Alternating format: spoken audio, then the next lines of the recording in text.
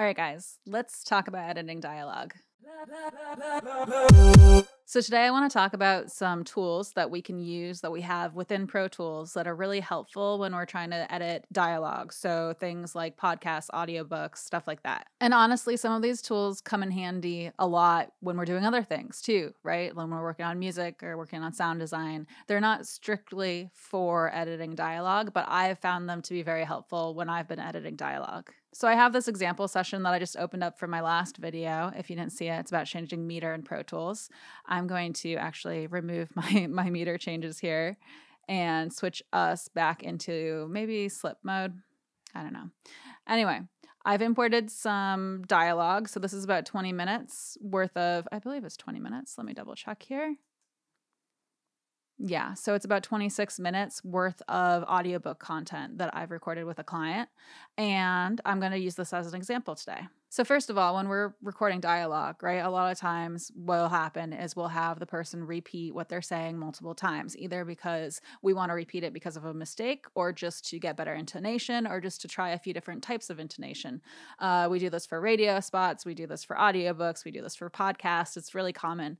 And so, what we end up having is we have a big long session like this, and a lot of times I'll have a million markers in place with notes about where everything is. And then we'll go through, a lot of times I'll go through in shuffle mode from the back back to the front so that my markers are always relevant as I delete things. And I will just delete the bad takes essentially until we have something that's a little closer to what we want. So I'm just going to kind of simulate that here. So I'm just highlighting and deleting stuff. And this is why I worked with the example session and not my actual session for this. But we end up having a whole bunch of cuts and a bunch of different little tiny clips, right? And a lot of times they're a lot smaller than this. It depends on, you know, how the person's delivery is. And a lot of times we want to remove breaths or make the flow a little bit better. A lot of times with dialogue, we'll end up with a lot of really, really, really tiny clips. So then what you might want to do, the first thing I want to show you guys is do like a batch fade on these. So you can highlight everything and just do Command F and that'll open up this fade dialog. And the other way to do it, you can hit cancel here. You can go edit, I believe, and then fades and then create. And that's the same thing as hitting Command F. And so then we have a lot of choices here. So the basic idea is you want to try to pick options here that are going to be good for the bulk of the fades you're doing. So a lot of times I will make them very short in terms of milliseconds, especially if my cut points are very close to where the wanted dialogue is, right? So I might make this even shorter depending, uh, five milliseconds, 10 milliseconds.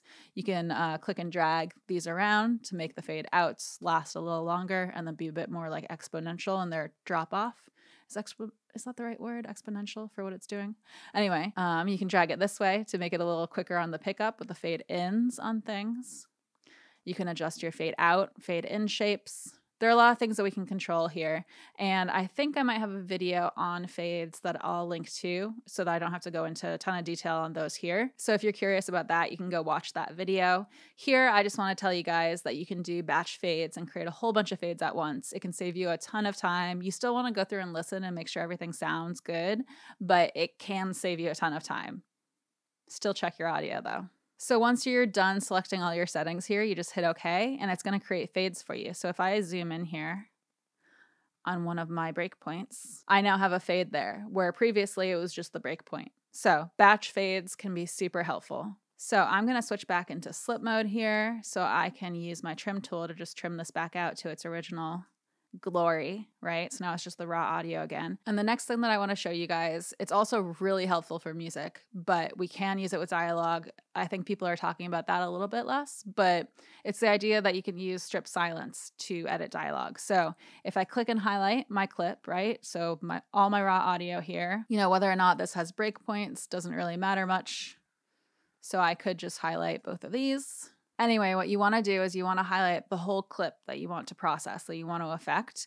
And then you can do Command U, and that'll open up the strip silence dialog here. You can also access this. Let me close it. You go to Edit and then Strip Silence, and that'll open it up. It's the same thing as hitting Command U, right? Or control if you're on Windows, right? Control and command. And let me zoom in a little bit so we can see some of the detail here a little bit better. But what you want to do is you want to first pick the strip threshold. So telling it at what point are we considering it silence that we would either want to remove or separate or whatever. So as you move the slider around, you'll notice it start to break things out based on what is qualifying as silence, right?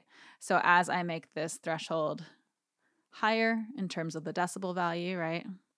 It's going to consider more and more things silence. So you get it where you want it. Let's say I want it right here, right? That's what I'm qualifying as silence right now. And then you can adjust these three parameters. These three parameters just basically help you to not accidentally take out stuff that you're going to want, right? So you can have a minimum strip duration, and that kind of helps you prevent uh, things like pops and clicks and really short noise things from counting as wanted noise, right? So you can make this longer or shorter based on what you want it to catch, right? If you want it to catch any little tiny bit of noise, then you can make this super short and it's going to separate things out into even smaller increments.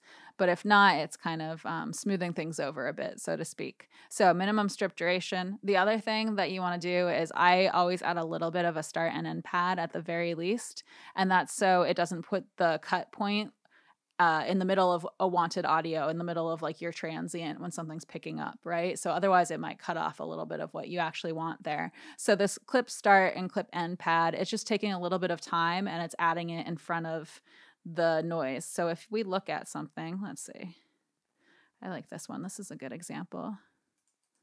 Let's see if we can kind of zoom in on that. So if I if we look at the front here of this, there's going to be a separation here, right?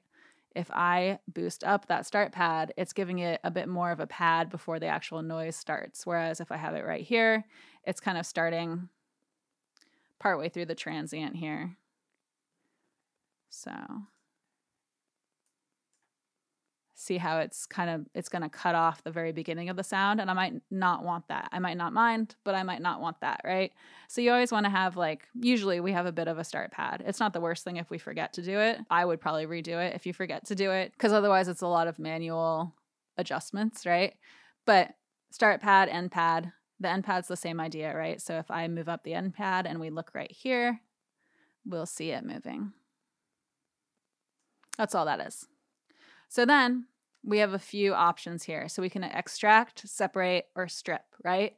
So if we hit strip, what it's going to do is it's going to take all the stuff that's qualifying as silence. So like this part, this part, this part, all the stuff that it's saying is silence, it's going to uh, strip that out. It's going to remove that from my timeline here. So I can hit strip. It's now removed that stuff. And now I'm more likely to have only the wanted signal, right? Only the the human voice that I that I recorded. The other thing you can do is just hit separate and it's just going to put breakpoints into place wherever uh, these lines are here. So it just adds breakpoints. So now you have like separate clips here for each one. Let me highlight again. I did shift return and then the other thing you can do, let me hit undo for that. And so the other thing you can do, it's kind of fun, but you can hit extract. And so what this does is it does the opposite of stripping the silence. It strips out the signal. So if I hit this, these signals, uh, chunks, is that the right word? Chunks, uh, clips will be extracted. So now it's like just my silence. It's not going to be all the steady constant silence. There are probably some little blips of like noise, like you can see some right here. Uh, but it's going to be everything that we declared silence with these parameters is now going to be there instead of the signal. So I'm just going to hit undo. So it might be obvious why we use strip, right? We can strip all the silence out and then we have wanted signal and then it's less stuff to weed through in theory, right? So that can be handy. That can be a time saver. Separate can help us not have to make as many breakpoints. Maybe then we can organize it from there. And just keep in mind if we do strip stuff out, right? We can always zoom in and let's say we stripped out the beginning of something we wanted. We can always trim it out with our trimmer, right? We don't have to uh, leave it the way the system placed it. If that makes sense. We don't have to leave the edge of the clips exactly where the strip silence function left it. And you know, when we go through and listen to make sure everything worked smoothly, we might want to change a lot of those points, right? It just depends on what you're doing and and how it sounds. It always depends on how it sounds. So I think a lot of people would wonder what extract is for. I can think of things like weird sound designy type of things that would be fun to try with the extract function. In terms of a more practical example that I can think of for using extract is, for example, if you're trying to run noise reduction on this audio, right? And maybe whoever, let's say it's production audio for a film, maybe whoever did that forgot to do room tone. So you don't have a big chunk of room tone. And you do usually want a big chunk of room tone in order to give the computer a little more to work with when it's learning the noise profiles to then accurately remove the noise. So this might be something that you might want to try to be able to like cobble together a, a chunk of noise, right? For the computer to, to then look at. So that's one of the purposes that I can think of for extract. I think that's what I've used it for before too. So it's not totally useless, right? So, yeah, that's the basic idea for strip silence. Let me close this out here. And my third tip here for editing dialogue, I kind of already mentioned here, but it's the idea of using shuffle mode. So what I'll do is I'll start at the end of my dialogue, whatever it is, right? A radio spot or an audiobook. And I'll go through based on my notes and my markers and listening back to. A lot of times I will just take the time to listen back. But, you know, it depends on how you want to do it. But I'll just go through and I'll find the bad takes, so to speak, and just delete them as I go. That looks like noise actually. And I'll just go through and do that. And I start from the back because you'll notice with shuffle mode, as we delete stuff, it fills the gap, right? Shuffle mode's kind of like a magnet mode.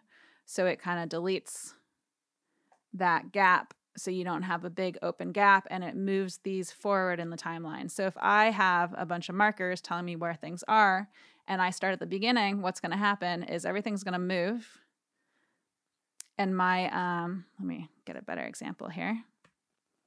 So let's say I start at the beginning everything behind it moves and now my markers are no longer accurate. So that's why I start at the end and go to the beginning. Oops. And I'll just delete those bad takes. And of course, you know, I'll I'll be zoomed in and everything and listening and and finding a good spot for it. And then you just go through and listen back and maybe use the trim function and stuff to to make sure everything's flowing smoothly, everything's sounding nice. The other thing that I will do when I'm doing this kind of function is I will find this probably isn't a good example if we were to actually listen to it, but I'll find an example of good silence. So, actual room tone from the recording, right? And I'll copy that. So, I just copied that. Usually it's about less than a second or something like that.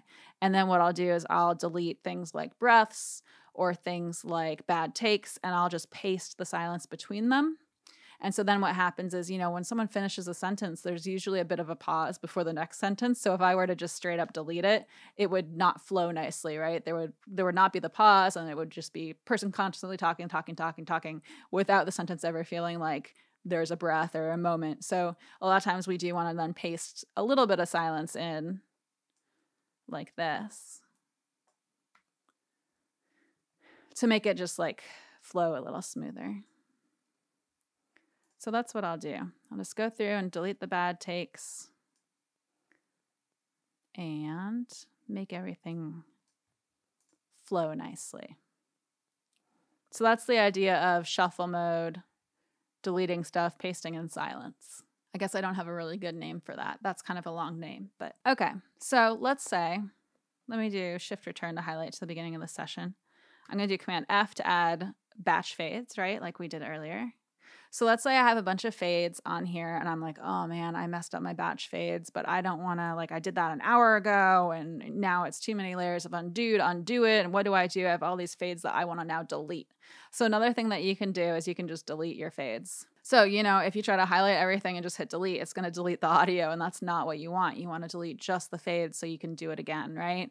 So if you find yourself in a position where you have a bunch of fades that you want to delete, you just highlight that whole range of, of whatever audio it is, right? And then you just go to edit, fades, and delete. And it deletes all the fades for you. So that can be very helpful, especially if you're just figuring out how you want to do things and you went through this whole process, one of these whole processes, right? And decided you didn't like how it was done. So here the fades are gone. If I undo that delete, the fades are back zoom in so you can see. There it is, my little crossfade. So that's just the idea that you can delete a bunch of fades at once. And I think that's pretty helpful too for for dialogue editing. So, yeah, that's about it for today. That's all I wanted to show you guys. I hope someone finds this helpful out there. Let me know what you think in the comments below. You know, as always, like, comment, subscribe, hit the notification bell. I'd appreciate all of that stuff. And I do have a Patreon, so it's patreon.com slash Noise. And my patrons get access to additional content. We have a Discord server that we're hanging out on. A lot of us are hanging out on. It's been a lot of fun. So I do encourage you to come hang out with us if you're feeling so inclined. Other than that, I come out with new videos every Wednesday, and thank you so much for watching. Okay. So, the past couple weeks here in San Diego, it's been so hot, like in the 90s, in the upper 80s, like really, really hot. And the past couple days, it's stormed and it's been cool and drizzly, and I love it so much. I'm so happy. So, I got my sweater on.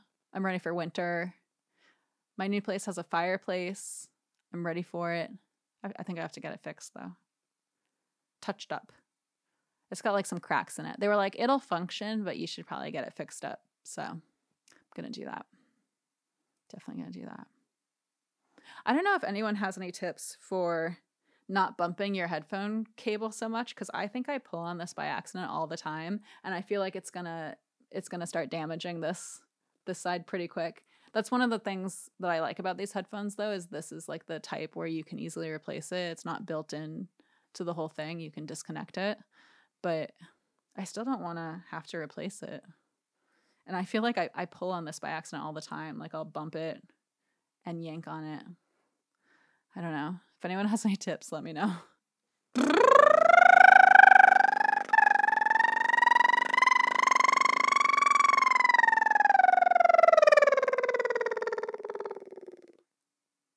Yeah, people can like I think it's humming, but sometimes whistling too, where they can do two tones at once. Or I think some people can do three, right? I don't know. I wonder if they could do like a Shepard tone doing that. I wonder if anyone's ever done that. I'm going to Google that. That's got to be really hard though, because you have to have. How many tones do you need for a Shepard tone? You need like a few, not just two, right? You can't do it with just two. All right, that's what I'm going to Google now. I'm going to be Googling that now. Okay. Okay, I'll talk to you guys later.